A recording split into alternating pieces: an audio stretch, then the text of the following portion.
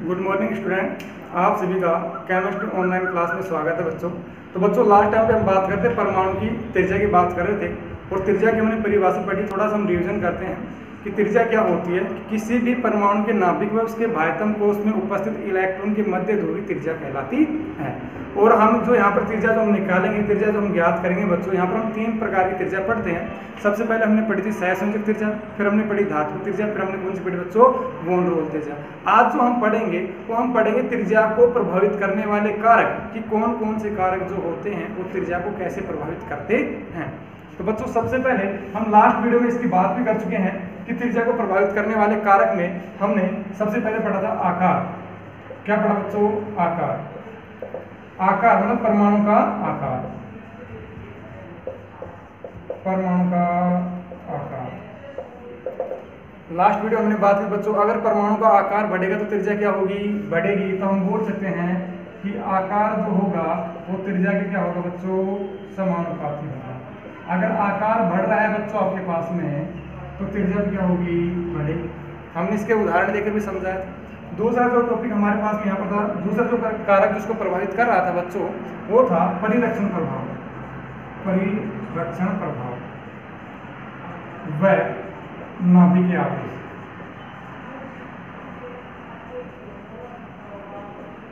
बच्चों, परिरक्षण प्रभाव, इसको हम बोल देंगे सिग्मा से दर्शा देंगे और नाभिक आवेश को बोल देंगे जेड इफ़ेक्टिव क्या बोल देंगे? जेड इफ़ेक्टिव बच्चों। देखो, परिरक्षण प्रभाव क्या होता है? हमने बोला था लास्ट वीडियो में कि किसी भी बहु इलेक्ट्रॉनिक स्पीसीज में बाह्यतम कक्षा में उपस्थित इलेक्ट्रॉन व आंतरिक कक्षा में उपस्थित इलेक्ट्रॉन के मध्य लगने वाला प्रतिकर्षण बल परिरक्षण प्रभाव कहलाता है बच्चों। अब वो प्रतिकर्षण लग रहा है। मतलब प्रतिकर्षण प्रतिकर्षण लग गया होगा, दूर दूर जाएगा, दूर दूर जाएगा तो आकार क्या होगा आपके बच्चों? बढ़ेगा।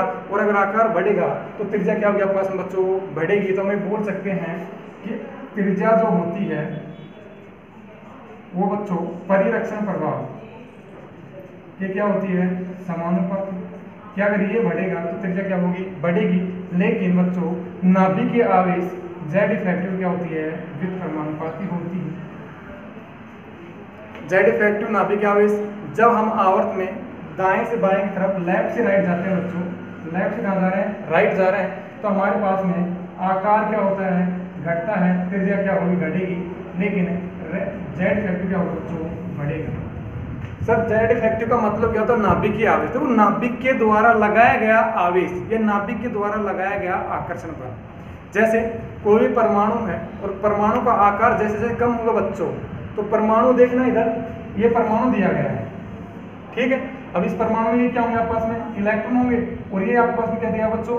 नाभिक दिया गया है। और नाभिक कैसा आवेशित होता है, धनावेशित होता है बच्चों।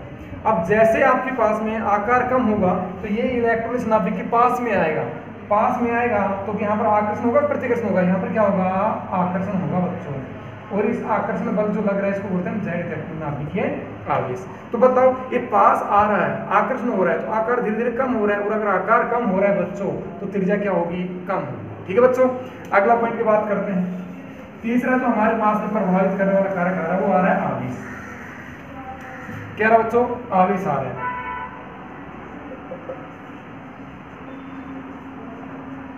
आवेश। आवेश में आपके पास में क्या क्या होंगे? आवेश में आपके पास में देखो, दो प्रकार के आवेश होते हैं बच्चों। एक तो होगा धनावेश। धनावेश का मतलब प्लस चार्ज। और एक आपके पास में होगा बच्चों, ऋणावेश।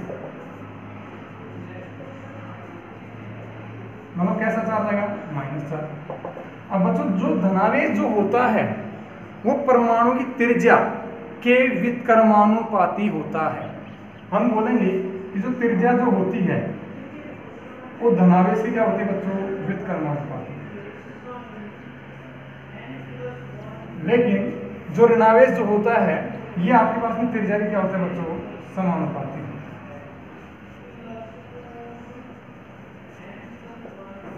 मतलब ये हुआ, बच्चों, अगर आप पास में ऋणावेश बढ़ रहा है तो त्रिज्या क्या होगी? बढ़ेगी। लेकिन अगर आपके पास में धनावेश बढ़ रहा है, बच्चों तो त्रिज्या क्या होगी? घटेगी आपके पास क्या होगी? घटेगी। हम इनको एक उदाहरण के द्वारा समझते हैं, बच्चों। आपको एक उदाहरण दिया गया है। हम यहाँ पर बच्चों क्वेश्चन करते हैं। और क्वेश्चन में हमारे पास ये दिया गया है। कि निम्न दिए गए तत्वों को त्रिज्या के बढ़ते हुए क्रम में व्यवस्थित करें। तो यहाँ पर क्वेश्चन क्या है? निम्न दिए गए दिए गए तत्वों को, उनकी त्रिज्या के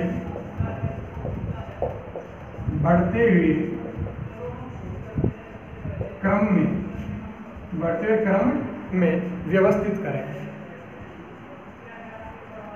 व्यवस्थित करें यहाँ पर हमारे पास में जो उदाहरण दिया गया है, वो दिया गया है सोडियम, पोटेशियम रूबीडियम सीजियम अब बच्चों, सोडियम, पोटेशियम रूबीडियम और सीजियम जो होते हैं, पहला जो वर्ग होता है, उसके तत्व होते हैं। अब देखो, वर्ग के तत्व हैं तो वर्ग में जो आप ऊपर से नीचे आओगे, मैं यहाँ लिख रहा हूँ ये आपके पास में वर्ग के तत्व हैं, और वर्ग में जो आप ऊपर से कहा रहे हो बच्चों, नीचे की तरफ़। तो आकार क्या होता है?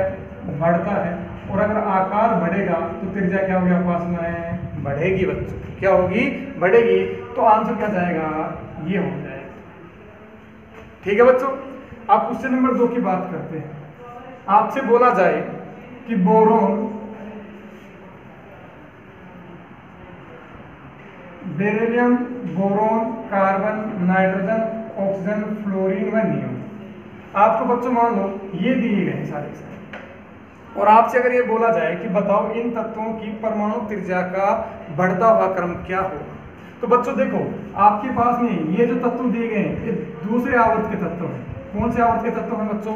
दूसरे आवर्त के तत्व हैं। और आवर्त में जब हम लेफ़्ट से राइट जाते हैं तो आकार क्या होता है? कम होता है। और अगर आकार कम होगा बच्चों तो त्रिज्या क्या होगी? कम होगी। देख, इसका आपके पास में आंसर क्या आएगा? कि सर ये होंगे आवर्त के तत्व। और आवर्त में जब आप लेफ़्ट से राइट जाते हो बच्चों तो आकार क्या होता है? कम। तो त्रिज्या भी क्या हो जाएगा पास में बच्चों? कम तो यहाँ पर आंसर क्या जाएगा आपके पास में? Beryllium boron carbon nitrogen oxygen fluorine में ये आंसर आ जाएगा देखो, इनके आंसर साथ के साथ में लिख रहा हूँ। इनका रीजन क्या है? कारण क्या है? यहाँ पर साथ के साथ में बता रहा हूँ बच्चों। ठीक है? अगला तो हमारे पास क्वेश्चन आ रहा है। वो हमारे पास में आ जाएगा आवेश से। जैसे कि बच्चों, हम बात करें N A plus M G plus two aluminium plus three और सिलिकन प्लस फोर देखो बच्चों, ये तो सवाल आ जाएगा धनावेश से।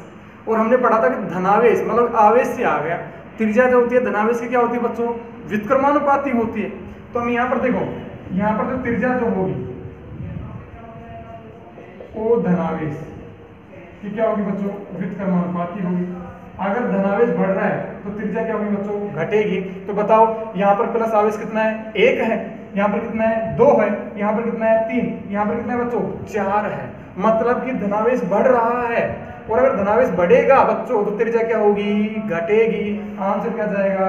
ये जाएगा। तो आपके पास में ये त्रिज्या का क्रम आ जाएगा।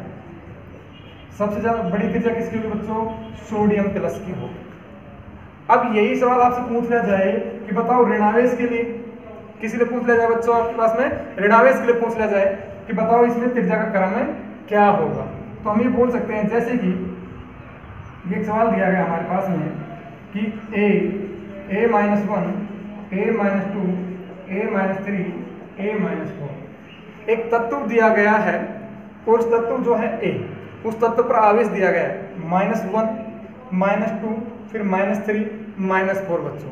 और हमने बोला था कि इसका आंसर क्या होगा कि परमाणु की जो त्रिज्या होती है, परमाणु की जो त्रिज्या होती है, वो ऋणावेश क्या होती है बच्चों?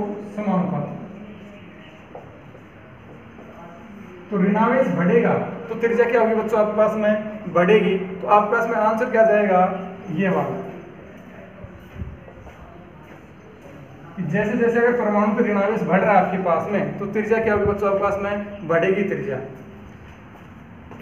आगे बात करते हैं बच्चों।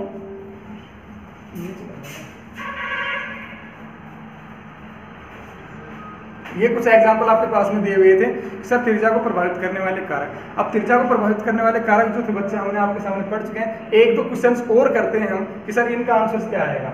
जैसे कि हम बात करते हैं, हमारे पास में आ जाए ऑक्सीजन सल्फ़र, क्लोरीन। आपसे बोला गया है कि ऑक्सीजन सल्फ़र, क्लोरीन, ये तत्व दिए गए हैं बच्चों। और आपसे बोला जा रहा है बताओ इनकी त्रिज्या का बढ़ता हुआ क्रम क्या होगा? तो सबसे पहले तो ये कर लो कि ये तत्व किसी वर्ग में आते हैं या किसी आवर्त में आते हैं, इनको व्यवस्थित कर लो। तो हम व्यवस्थित करते हैं। ये ऑक्सीजन और ये सल्फ़र, ये तो एक ही वर्ग में आते हैं। ठीक है? अब यहाँ पर देखो sodium magnesium aluminium silicon phosphorus sulphur chlorine कौन आता है बच्चों हमारे पास में? क्लोरीन होता है। कौन आता है? क्लोरीन। और हमें पता है, जब वर्ग में ऊपर से नीचे जाते हैं, देखो बच्चों, ये वर्ग हो गया। और वर्ग में ऊपर से नीचे आओगे, आकार क्या होगा? बढ़ेगा। तो त्रिज्या क्या होगी? बढ़ेगी। लेकिन आप इधर से इधर जाओगे तो ये आवर्त हो गया।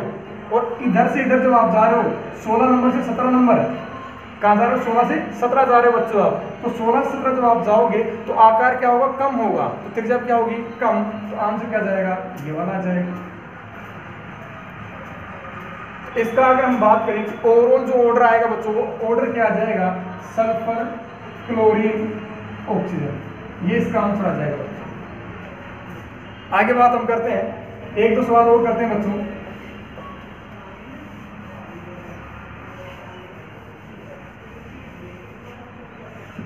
आपसे यहाँ पर एक सवाल दिया गया है कि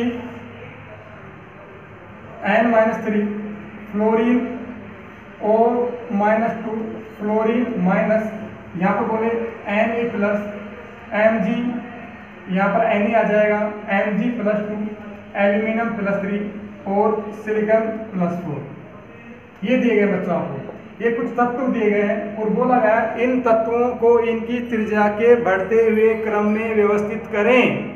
तो बच्चों, सीधा सा पता होना चाहिए, हमारे पास में आवेश। आवेश देख लो। अब आवेश कब देखोगे? जब आपके पास में सम इलेक्ट्रॉनिक सम इलेक्ट्रॉनिक स्पीसीज हो। सम इलेक्ट्रॉनिक स्पीसीज मतलब कि सम इलेक्ट्रॉनिक। देखो, सम का मतलब क्या होगा बच्चों? समान। और इलेक्ट्रॉन का मतलब इलेक्ट्रॉन कि वे तत्व जिनके पास इलेक्ट्रॉन समान पाए जाते हैं, सम इलेक्ट्रॉनिक तत्व कहलाते हैं। अब बताओ क्या इनके पास इलेक्ट्रॉन समान है क्या? बताओ नाइट्रोजन जो होता है, इसका परमाणु क्रमांक कितना होता है? सात होता है बच्चों। अगर इसका परमाणु क्रमांक सात है तो इलेक्ट्रॉन भी कितने हो जाएँगे? सात। और माइनस तीन का मतलब क्या होगा? तीन इलेक्ट्रॉन और आ गए इसके पास में। तो सात तीन कितने हो गए? दस। इसके पास कितने होंगे? आठ, दो, दस। नौ और एक, दस। देखो बच्चों ये सोडियम जो होता है, सोडियम का परमाणु क्रमांक होता है ग्यारह। कितना होता है? ग्यारह होता है। लेकिन इसने बोला कि प्लस आवेश, प्लस का मतलब ये होगा कि इसने एक इलेक्ट्रॉन भगा दिया यहाँ से। एक इलेक्ट्रॉन इसने डोनेट कर दिया, दान कर दिया। इलेक्ट्रॉन पर आवेश कैसा होता है बच्चों? माइनस होता है। कैसा होता है? माइनस। और अगर किसी चीज़ से माइनस जाता है तो कौन आता है? प्लस आता है। अगर एक माइनस गया तो एक प्लस आया। एक प्लस गया तो एक माइनस आया। तो बताओ यहाँ पर। यहाँ पर कितने इलेक्ट्रॉन जाएँगे आपके पास में? देखो। यहाँ पर इलेक्ट्रॉन हो दस। यहाँ पर कितने? दस। यहाँ पर कितने? दस दस दस दस और दस। बारह में दो जाएँगे, तेरह में तीन, चौदह में चार चले जाएँगे। तो बच्चों, देखो, इसमें इलेक्ट्रॉन सारों में समान है। इलेक्ट्रॉन क्या है सारों में? समान है। पर यहाँ पर त्रिज्या जो होगी, वो अलग अलग होगी। अब त्रिज्या जो होती है बच्चों, वो ऋणावेश के तो क्या होती है आपके पास में? देखो ये दिया हुआ त्रिज्या जो ऋणावेश होती है, वो तो क्या होती है? समानुपाती धनावेश की क्या होती है? व्युत्क्रमानुपाती। तो ऋणावेश सबसे ज़्यादा कहाँ पर है? माइनस चार्ज कहाँ दिख रहा है सबसे ज़्यादा? यहाँ पर दिख रहा है। तो इसकी त्रिज्या क्या होगी? सबसे ज़्यादा। उससे कम उससे कम उससे कम उससे कम और सबसे कम। तो ये बच्चों आपके पास में क्या हो जाएगा? त्रिज्या का क्रम है त्रिज्या का क्रम ठीक है बच्चों? तो हमने क्या पढ़ा कि सबसे पहले हमने पढ़ी त्रिज्या। त्रिज्या क्या होती है? किसी भी परमाणु के नाभिक में बाह्यतम कोष में उपस्थित इलेक्ट्रॉन की मध्य दूरी त्रिज्या कहलाती है। त्रिज्या हम तीन प्रकार के पढ़ेंगे। सह संयोजक धात्विक और वोंडरवॉल त्रिज्या। वोंडरवॉल त्रिज्या जो होती है बच्चों, वो सबसे ज़्यादा बड़ी होती है। हम ये बोल सकते हैं सह संयोजक त्रिज्या से दुगनी होती है। त्रिज्या को प्रभावित करने वाले कारक में हमने सबसे पहले पढ़ा आकार। आकार जो होता है बच्चों, त्रिज्या का क्या होता है? समानुपाती। अगर आकार बढ़ेगा तो त्रिज्या भी क्या होगी? बढ़ेगी। फिर हमने पढ़ा परिरक्षण प्रभाव और नाभिक आवेश अगर परिरक्षण प्रभाव बढ़ेगा तो त्रिज्या क्या होगी बच्चों? बढ़ेगी। और नाभिक के आवेश अगर बढ़ेगा तो त्रिज्या क्या होगी? घटेगी बच्चों, ठीक है? फिर हमने पढ़ा था आवेश। अगर धनावेश बढ़ रहा है तो त्रिज्या क्या होगी? घटेगी। और अगर ऋणावेश बढ़ रहा है तो त्रिज्या क्या होगी बच्चों? बढ़ेगी। ठीक है बच्चों? बाकी बात हम करेंगे नेक्स्ट क्लास में।